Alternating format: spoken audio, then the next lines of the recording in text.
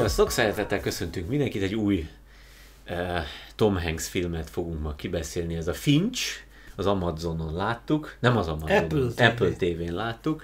Én nem ott láttam. És te nem ott láttad? De ott, de ott találjátok meg. És uh, úgy gondoltuk, hogy nyilván nem csak mert premier tartalom, hanem van itt miről beszélni. Most abszolút semmilyen szót nem, még a minimális szóváltásunk se történt meg a Gyurival erről a filmről, csak hogy legyen egy videó róla. De nem is csak az, hogy lehet, vagy van miről beszélni, uh-huh. hanem az, hogy azért ez nagyon guszta volt ez a film. Tehát Persze, ennek nagyon jó kis trélere volt, jól nézett ki, Ja, amúgy igen. is ez a mi világunk. Tehát ezért reméltük, hogy ez majd egy tök jó igen, film lesz. Igen, igen. A post-apokaliptiumot azt nagyon szeretjük, ezt már Igen. számtalanszor elmondtuk.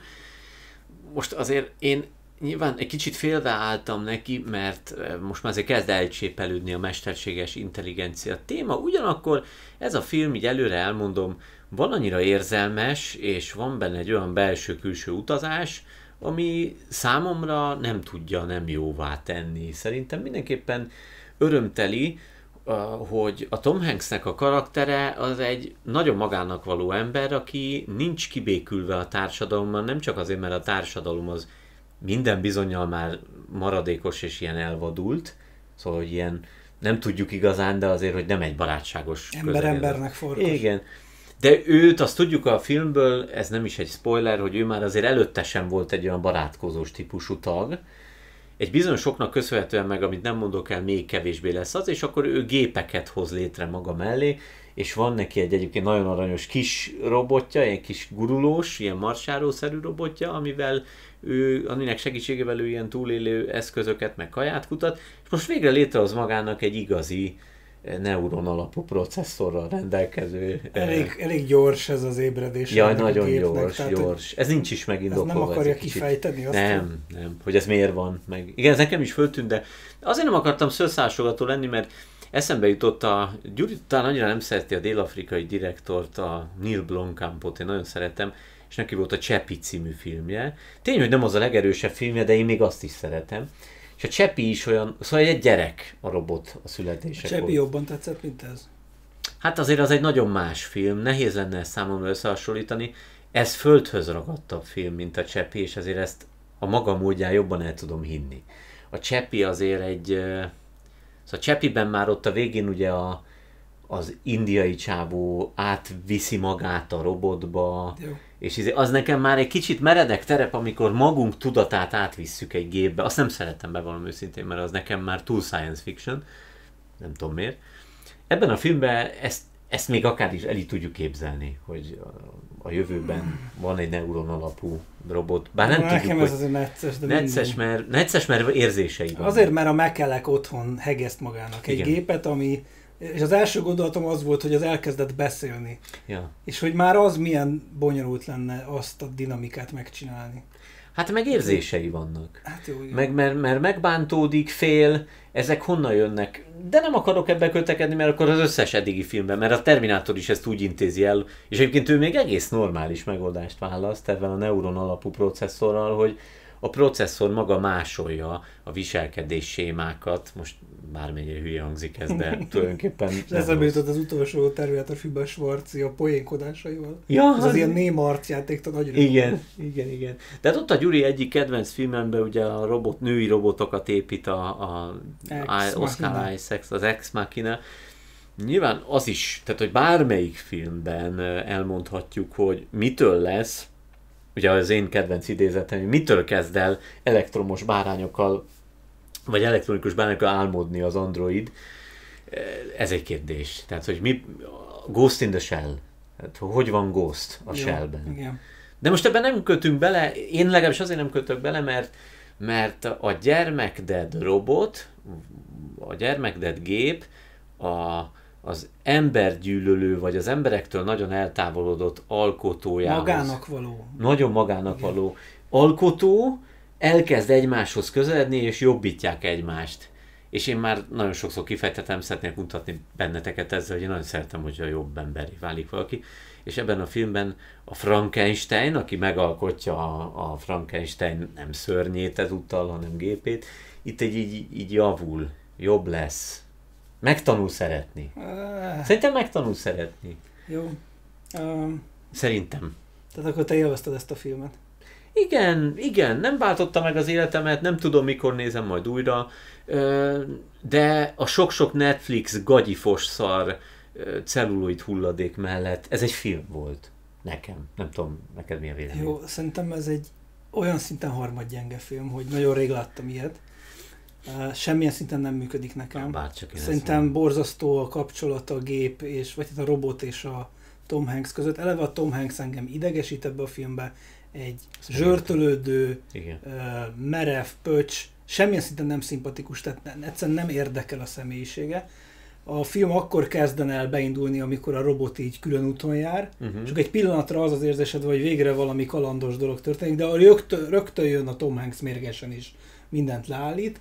Van a filmben egy kiskutya, aki a világ legnagyobb noob díszlet kutyája, tehát ultra cukin néz ki, de én ilyen haszontalan társat egy filmben még nem láttam. Ezt a kutyát mindig bezárják egy, egy fiókba, vagy egy cupboardba, és ez ott van. És semmi nem derül ki a kutyáról igazából, és nincs vele kapcsolatod, hogy a film erre brazírozik, ez egy fontos dolog neki, hogy a kutya, a kutya, a kutya. Hát hol van ez egy Love and Monster kiskutyához képest, aki kalandokba keveredett, aki jó fej volt, aki, akit félteni kellett adott helyzetbe. És a másik meg, hogy ebbe a filmbe, ez egy katasztrófa film elvileg, vagy hát ilyen posztapokaliptikus olyasmi, és többször megpróbál riogatni dolgokkal egyszer az időjárással, aztán ugye ezek az emberek, de valójában semmi feszültség nincs a filmben. Tehát, hogy én, én ennyire unalmas filmet nagyon régen láttam. Szerintem borzasztó az egész úgy, hogy van. És mondok még egy apróságot, és ezzel zárnám az egész véleményemet erről a filmről. Az, aki rendezte, a Szapocsnik, Igen. nem Miguel tudom, Miguel Szapocsnik. Szapocsnik. Ez igen Ez a csávó trónokharca részeket rendezett, Igen. vagy tizet, és köztük a Battle of the Bastards-t. Hoppá, A legdurvább csata, az, az egy olyan rész volt a trónokharcában, ami kiugrott abból a sorozatból. Az egy film lehetett volna, annyira jó meg volt Az egy csinálva. kiváló film volt, ebbe És uh, én úgy gondolom, hogy az a faszi kellett volna, hogy rendezze az Eternals-t mondjuk, és a Chloe Zhao-nak kellett volna rendezni ezt, mert ez a való a Chloe Nem az ilyen való. belső utazás. Nem rossz gondolat, nem rossz gondolat. Gyorsan reagálva két dologra, miért elfelejtem. Az egyik a kutya, csak nagyon hosszan reagáljak, mert akkor már lassan föl kell írnom a dolgokat, mert akkor mindig megjegyzem. Szóval nézd, a kutyának igazat adnék neked, ha nem lenne a kutyának egy olyan szerepe ebben a filmben, hogy, hogy ugye van itt egy ilyen tanítási láncolat, mert a, a, a Tom Hanks tanítja a robotot, és a robot meg egy olyan céllal jön létre, azért azt a Gyuri nem mondta, pedig nagyon fontos. Eleve azért hívja életre ezt a robotot a Tom Hanks, nem maga miatt, ezt el is mondja, hanem hogy, hogy az ő sorsa rosszabbra fordul, most nyilván direkt fogalmaztam így, akkor a kutyának legyen egy felügyelője. Igen. És itt azért nyilvánvalóan van egy olyan szerep, hogy tud-e úgymond gondozóvá, vezetővé, apává lenni ez a gép. El tudja tanulni az embertől a gondoskodásnak a művészetét. Szerintem ez egy érdekes gondolat, bőven érdekes ez a gondolat. Ráadásul, mondom, mint egy véletlenül alakul ki egy kapcsolódás a robot meg a Tom Hanks között, és igenis egy kicsit a kutya miatt, akinél azért én egy kicsit túl erősnek érzem ezt a vádat, hogy csak díszlet, és szerintem nem az, meg aggódni, őért aztán pláne kell aggódni. Nászámra ez nem katasztrófa film, úgyhogy én ilyen jellegű fel, kikapcsolódást nem is kerestem benne, hogy én most itt féljek, tehát hogy bennem, bennem ez nem volt. De ezt én se kerestem, csak ezzel indít a film. A film indíti a homokviharokkal, meg ilyen időjárással, tudod? Hát a settinget. De az elején ez ilyen fenyegetés, és igazából ez ilyen üres fenyegetés. Aztán egy pillanatra Nem meglibbenti az emberek általi fenyegetést, Igen. de az is teljesen üres. Az üres, de azért Gyuric, mert szerintem, ha valami, akkor ez egy, ez egy melodráma, ez egy kis, hogy mondják a színházba, a kevés szereplő, ez egy kamaradarab. És ennek az, hogy science fiction, az pusztán csak a sztori. A díszlete. A díszlete. Például a homokvihar pusztán azért van benne, ha észreveszed, vagy ez a dolog, ami persze fontos, mert itt kapjuk meg, hogy miért pusztul a föld. Hát ezért kell elindulniuk egy új helyre. Jó, Tehát ez értem, indítja el a road tripet. De, de ugyanakkor nézd, én nekem, tehát én teljesen el tudom fogadni, ha valakinek nem jön be egy ilyen film. Mert most ez vagy tetszik, vagy nem. Meg azért szerintem te sokszor elvárásokkal, hála Istennek, hát legyenek is elvárásaid. Hát és én megértem, hogy egy ilyen Nekem ez átverés passzol volt, tudod? Én úgy érzem, hogy most már most már minden nulla júli történet mögé, vagy hozzá körítésnek oda szövik a, a posztapokaliptikus settinget, vagy egy sci-fi settinget, és valójában az ég egyet a világon semmi, ez nincs ennek semmi köze. Ez lehetett volna egy mai korba játszódó amerikai valami külvárosban egy hobó. Lehetett volna egy hobó ő meg a kutyája, érted? Teljesen mindegy. Hát ez. a, a mesterséges lény miatt nyilván nem. Hát jó, Tehát, akkor ott másra bízta volna, ott valaki mással barátkozott volna össze.